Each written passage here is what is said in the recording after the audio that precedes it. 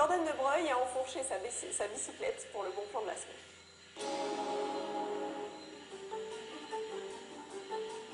Quand on partait de bon matin, quand on partait sur les chemins, à bicyclette. Depuis 2012, les vélos à assistance électrique sont de plus en plus présents. Bicato propose de découvrir avec des randonnées sur les plages et dans les forêts avec ses tout nouveaux deux roues.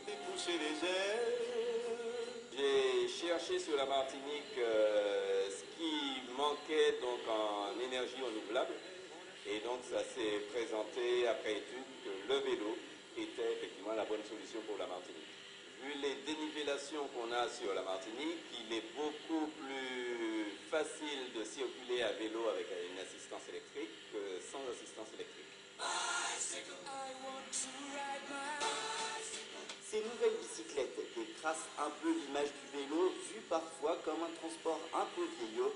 Maintenant, c'est toute la famille qui se prête au jeu des balades en pédalant. Et si une montée paraît trop difficile, le moteur prend le relais avec une vitesse maximale de 25 km/h environ.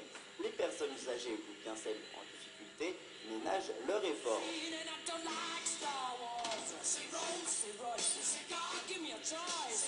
Avec une autonomie d'une centaine de kilomètres, il suffit ensuite de recharger son vélo sur une borne et en 4 heures, c'est reparti.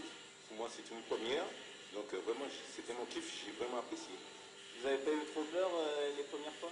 Non, c'est comme tout, hein, avec un petit temps d'apprentissage, c'est vite fait, après c'est dans l'approche, hein, ça, ça, on s'adapte. hein. Donc vraiment, c'est- ça vaut le coup. Sachez qu'il existe également des trottinettes électriques homologuées pour la route et des quads électriques afin que les enfants puissent s'amuser aussi, ou alors les grands enfants aussi.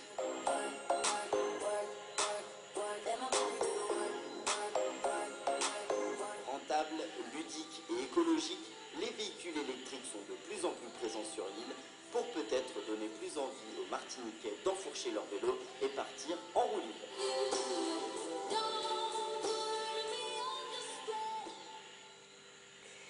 avant de conclure.